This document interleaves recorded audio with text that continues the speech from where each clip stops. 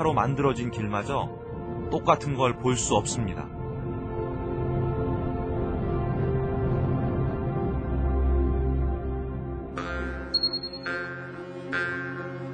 전 홉두에서 살아있는 역사를 경험한 뒤 예술의 도시 찬드마니로 향합니다.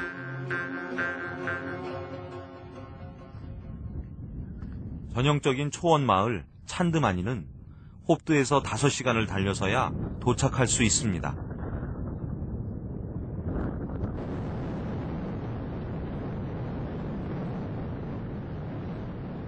건물도 있는 작은 시골 마을인데요.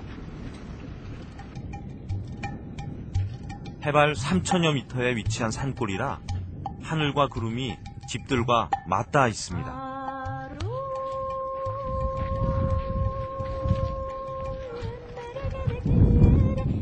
이곳에 사는 유목민은 돌담벽과 돌집을 짓고 생활하는데요.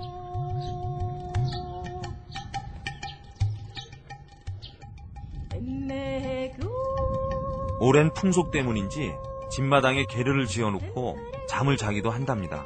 신기하죠? 마치 우리네 시골을 걷는 기분입니다. 그중 제 눈을 사로잡는 게 있는데요. 바로 하늘을 떠도는 솔개입니다. 몽골에선 흔히 보는 새라네요.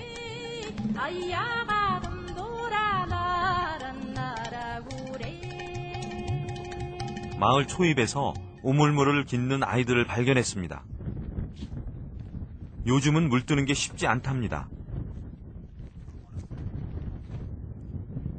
겨울에 꽁꽁한 물을 깨가며 물을 퍼야 하기 때문입니다.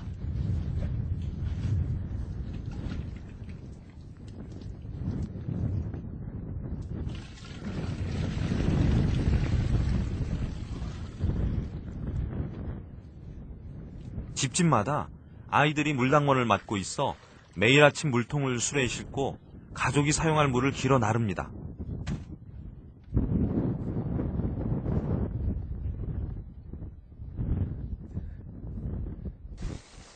이곳에선 마을 공동으로 난방 연료를 모읍니다. 석탄보다 화력 좋은 가축의 분뇨가 연료입니다. 연료 담당 역시 아이들이 도맡아 하는데 추울 텐데도 하나같이 맨손으로 일합니다.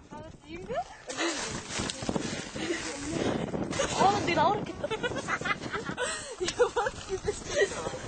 저 잠깐만. 빨리 이 연료를 지펴 언손을 녹였으면 좋겠네요.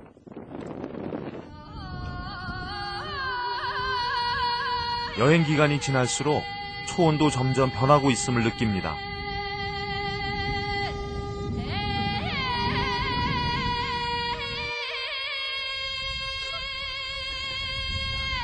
봄이 움픈 그 자리마다에 양들이 몰려 있습니다.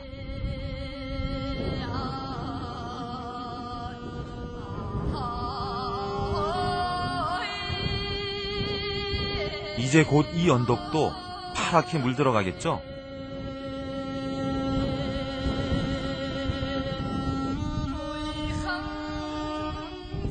마을에 들어서자 색다른 모습이 눈에 띕니다. 몽골에서 처음 보는 밭입니다. 쉽네. 어, 뭐 쉽네. 무슨 농사를 짓고 있는지 궁금해 사람들이 있는 곳으로 다가갔습니다. 메뉴. 어, 뭘 심나 봤더니 감자 농사입니다. 네, 몽골에는 그 유- 유목민들만 있는 줄 알았더니 농부도 있네요. 음? 아, 그리고 거기다가 우리나라 감자랑 똑같이 생겼어요. 그러니까 같은 감자인 것 같아. 몽골에서 감자를 보다니 강원도 출신인 제겐 친근감마저 느껴집니다. мал тариа энэ вайлаад чи 그 тарьдгаа мал чи молн тариас таринд бид чи малныхаа энэ ба юу энэ буусын ачлаад энэ боо энэ нөгөө энэ тэр бордоо болгоно. Үйлсэл чимийн одоо малнаас гарч байгаа энэ юу нэг. Энэ вэ? 집 한쪽엔 걸음 저장고가 따로 있는데 가축의 분뇨에 흙을 섞어 만든 천연 거름입니다. 화학 비료를 구하기도 어렵지만 사기에도 너무 비싸기 때문입니다.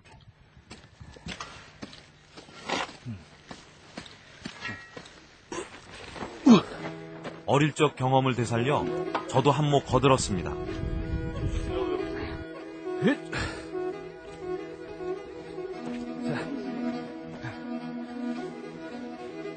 천연 거름만 다를 뿐이지 농사를 짓는 건 우리랑 똑같습니다. 그래서 저도 쉽게 도와줄 수 있었는데요.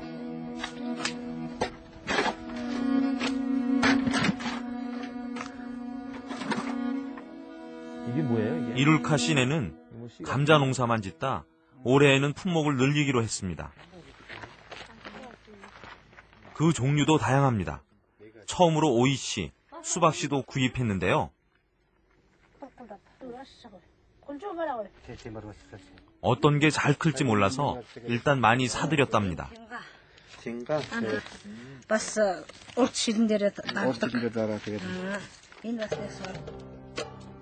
이룰카 씨가 농사를 짓기 시작한 이유는 도시에서 학교 다니는 아이들의 학비를 마련하기 위해서랍니다.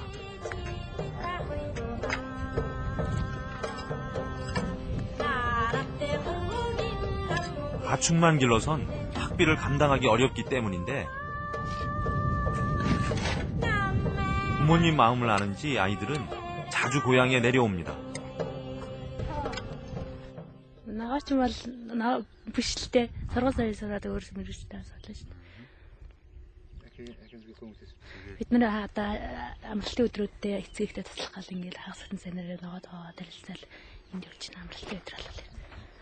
бид чинь ядуу гол энэ нөө тариа ногоогоор л амьдарч байгаа шүү дээ.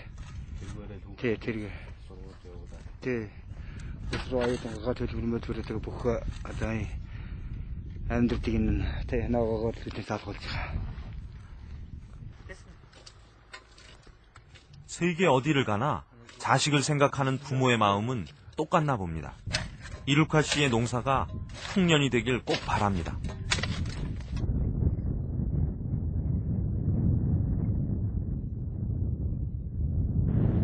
설산을 마주한 마을은 한 폭의 그림 같습니다. 잠시 구경하는데 어디선가 노랫소리가 들려옵니다.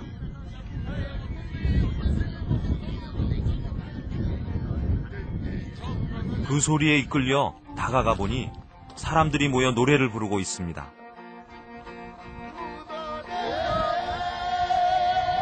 이런 소리가 있나 싶을 정도로 독특합니다.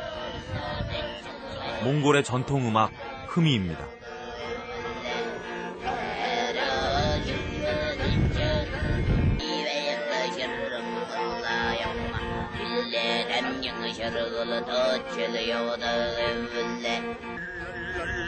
흠이는 목소리 음악이라 말하는데 목을 사용해 부르는 게 특징입니다.